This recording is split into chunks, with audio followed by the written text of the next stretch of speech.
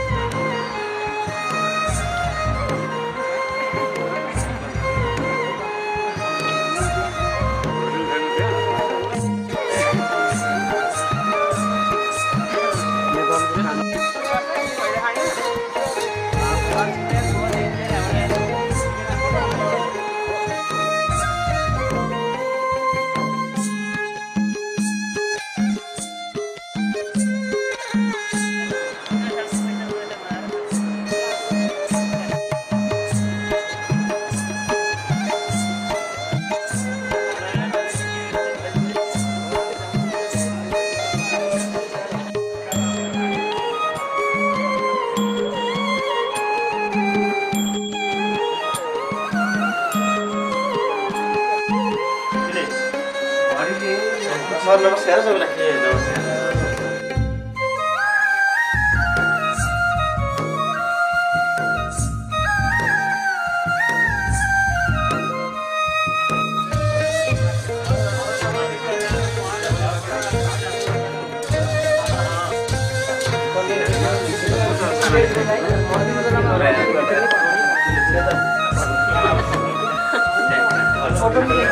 Thank you.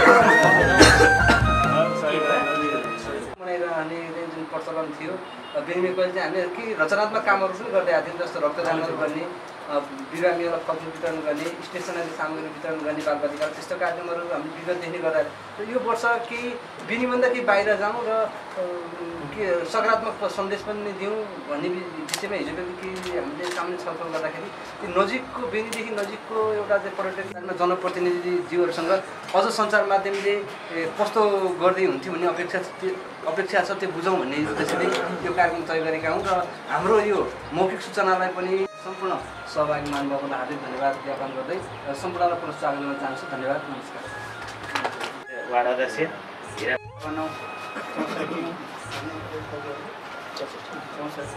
कार्यक्रम राखिदिनु भएकोमा यो सम्पूर्ण टिमलाई आयोजक टिमलाई म हार्दिक धन्यवाद दिन चाहन्छु। र विशेष गरेर यो पत्रकारिता भनेको एउटा राष्ट्रको चौथो अङ्गको रूपमा पनि संविधानले व्यवस्था गरे अनुसार जुन हिसाबले चाहिँ हार्दिक अनुरोध गर्दछु। र अहिले यो लभिलमा जुन हिसाबले यो पर्यटकीय स्थल निर्माणको अवसर मा धेरै नगरपालिकाले ध्यान केन्द्रित गरेको छ। अहिले विकास समितिबाट पाँच लाख रुपियाँको यो रेलिङ स्थापना गऱ्यौँ र त्यसपछि हामी रेल नगरपालिका वार्ड नम्बर दुईले पनि यसलाई चाहिँ यो अलि जोखिम भएको हुनाले र यहाँ थुप्रै केटाकेटीहरू पर्यटकीय आन्तरिक पर्यटकीय रूपमा चाहिँ यहाँ आउँदै गर्दा यहाँ जोखिम भएको कारणले हामीले बेद नगरपालिका वार्ड नम्बर दुईले पनि यो रेलिङ पुनःता दिनको लागि पाँच लाख रुपियाँ अघिल्लो वर्ष चौहत्तर पचहत्तरमा हामीले चाहिँ विनियोजन गरेर लगभग हामीले रेलिङ पुरा गरेका छौँ र अहिले हुँदै गर्दा बेन नगरपालिका अ, को पचास पर्सेन्ट र अब यो नन आइसिसीको चालिस पर्सेन्ट र उद्योग वाणिज्य सङ्घको दस पर्सेन्ट गरेर हामीले यो पदमार्ग बेनीदेखि लघुसम्मको पदमार्ग निर्माण गर्न लगभग हामी असी लाखको योजना बजेट योजना तयार गरेर हामीले अहिले यो छिट्टै यो तिन महिनामै सम्पन्न गर्ने भनेर नगरपालिका निर्णय भएर पनि अहिले यो कर्मा काम चाहिँ निर्माण हुँदै गरेको अवस्था पनि छ। र छिट्टै यो आर्थिक वर्षसम्म यो पदमार्ग निर्माण सम्पन्न पनि हुँदै गर्दछ। र जिल्ला डिभिजन वन कार्यालयले पनि हामीलाई यो लबिनमा एउटा उद्यान निर्माण गर्ने आन्तरिक सहरी उद्यान निर्माण गर्ने भनेर बाह्र लाखमा प्राप्त गरेको छ। र त्यसले काम भइराखेको अवस्था पनि हो यो।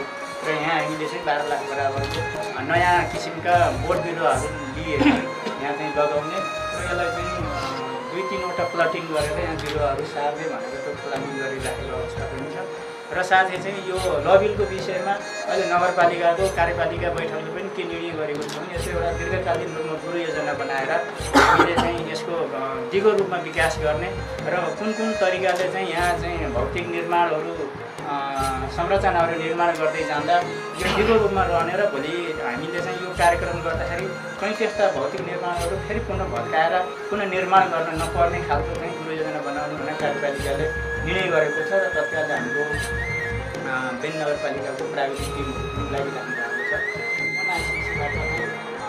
एउटा ढुङ्गाहरू स्थापना गर्ने लगायत लगत्तै उहाँहरूको चाहिँ एउटा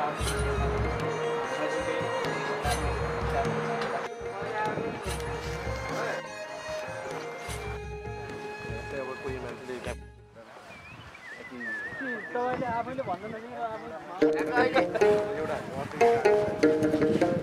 छुट्टी लिएर बसेको